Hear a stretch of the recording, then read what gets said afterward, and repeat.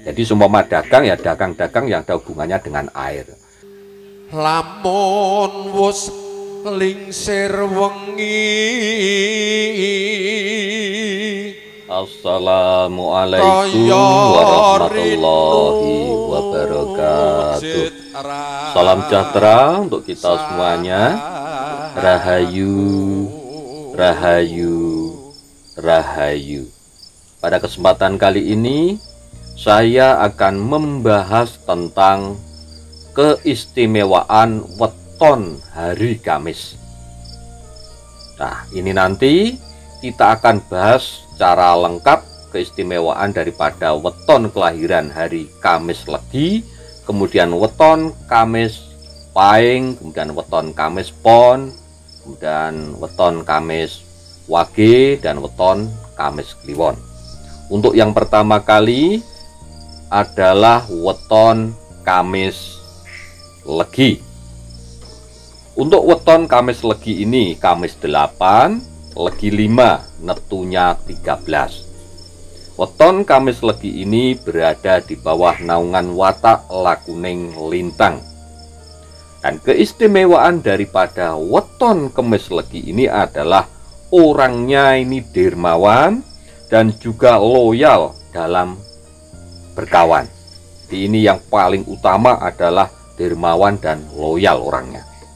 Di samping itu juga mempunyai keistimewaan bahwa weton kemis legi ini eh, etos kerjanya sangat tinggi, kemudian orangnya juga mandiri, berkarisma dan bertanggung jawab. Nah, itulah kelebihan-kelebihan dan juga keistimewaan-keistimewaan daripada weton kemis legi.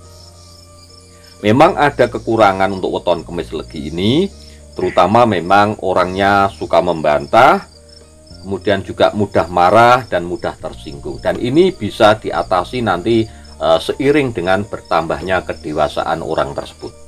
Masalah pekerjaan yang sangat cocok untuk weton kemis legi ini adalah e, pekerjaan yang tidak diatur oleh orang lain.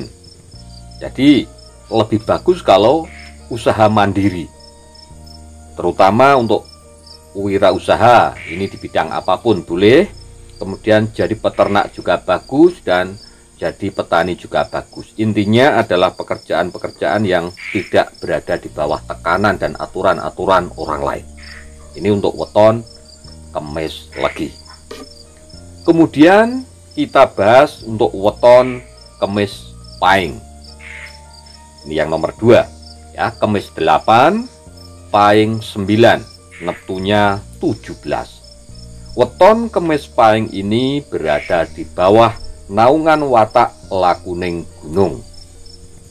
Dan keistimewaan orang yang punya weton kemis paing adalah orangnya sangat cerdas, kemudian juga berwawasan luas, serta pandai berbicara.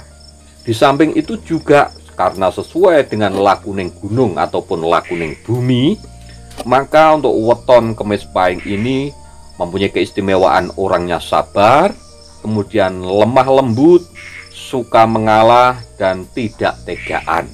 Nah, di samping itu juga orangnya sangat bisa diandalkan dan bisa ngemong untuk sesamanya. Di samping itu juga mempunyai keistimewaan cita-citanya itu tinggi. Kemudian juga karena orangnya itu tipe pekerja keras. Ini juga salah satu keistimewaan daripada weton kemis paing. Di samping itu juga orangnya ini suka kebersihan dan keindahan atau bisa dibilang fashionable. Ini salah satu uh, dan beberapa keistimewaan daripada weton kemis paing. Memang ada uh, sedikit untuk sisi negatifnya yaitu e, mudah curiga, kemudian orangnya agak tinggi hati. Ini pun bisa dinetralisir ya, seiring bertambahnya kedewasaan dan juga tergantung juga dari lingkungan panjenengan berada. Dan masalah pekerjaan ini yang paling cocok untuk weton kemis paing adalah mengandalkan pikiran. Jadi pekerjaan-pekerjaan yang tidak mengandalkan otot ini bisa sebagai guru, dosen, akuntan, kemudian juga bisa menjadi seorang peneliti karena memang cenderung orangnya ini sangat teliti. Di samping itu juga bisa menjadi seniman.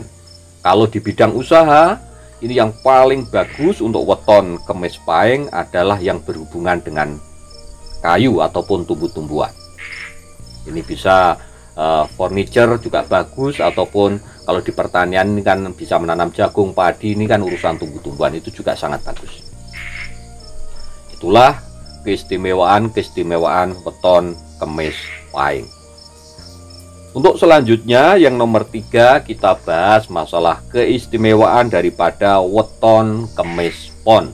Jadi kemis 8, pon 7, neptunya 15. Ini berada di bawah naungan watak lakuning geni dan untuk Poncol Sudo ini di bawah naungan sumur Sinobo.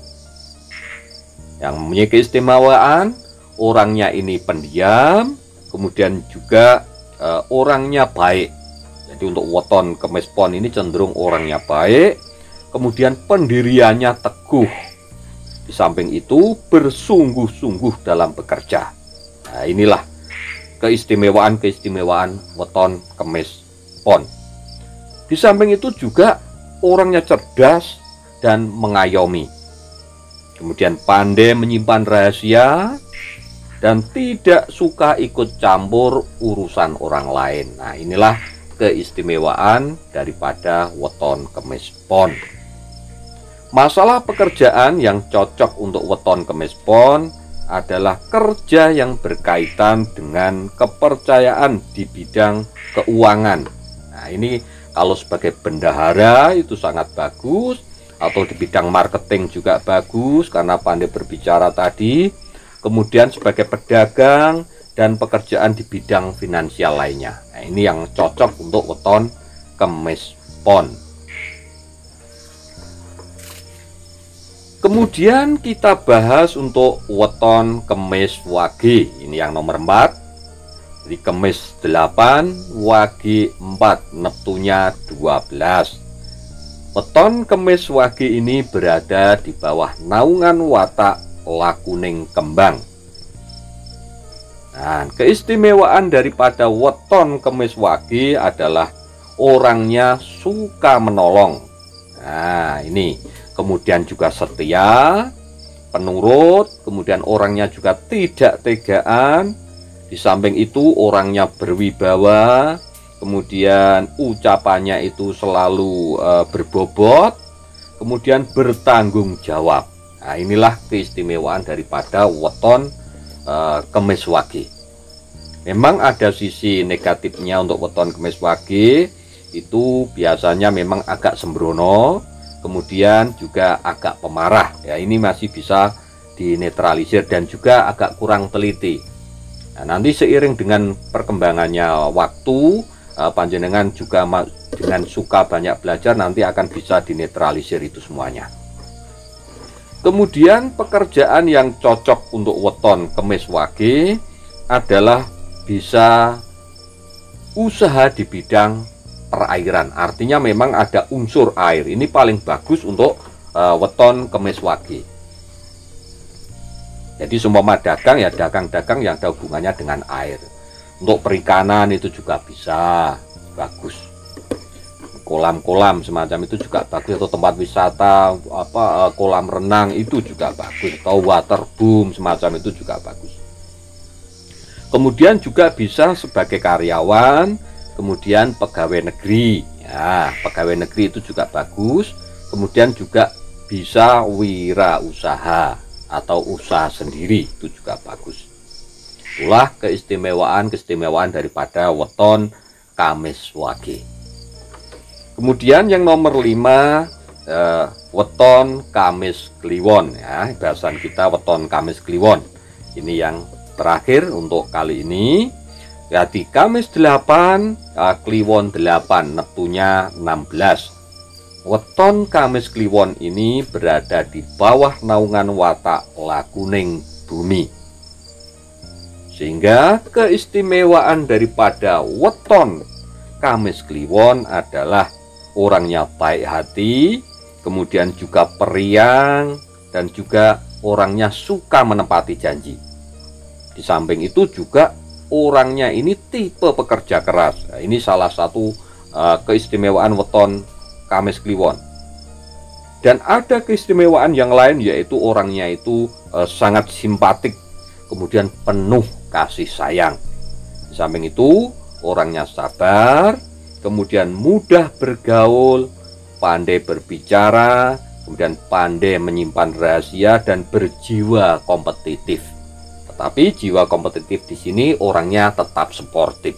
Inilah keistimewaan daripada weton kemis kliwon dengan neptu 16. Tetapi ada sisi negatif juga sedikit untuk weton kemis kliwon ini yaitu orangnya memang uh, mudah marah. Ini yang perlu untuk diperbaiki dan juga uh, agak angkuh. Ini juga perlu diperbaiki untuk weton kemis kliwon.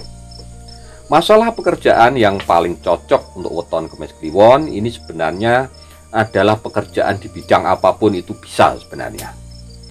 Guru bagus, hmm, kemudian penceramah juga bagus, dosen, dan usaha sendiri ini juga yang paling bagus dan sangat disarankan untuk uh, usaha sendiri ini. Nah, itu tadi untuk weton kemis kliwon.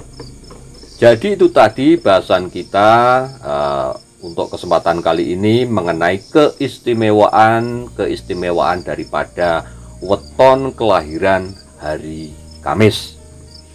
Mudah-mudahan bahasan kita kali ini bermanfaat untuk kita semua. Dan bagi sedulur-sedulur, monggo tinggalkan komentar panjenengan di kolom komentar. Matur nuwun. Wassalamualaikum warahmatullahi wabarakatuh.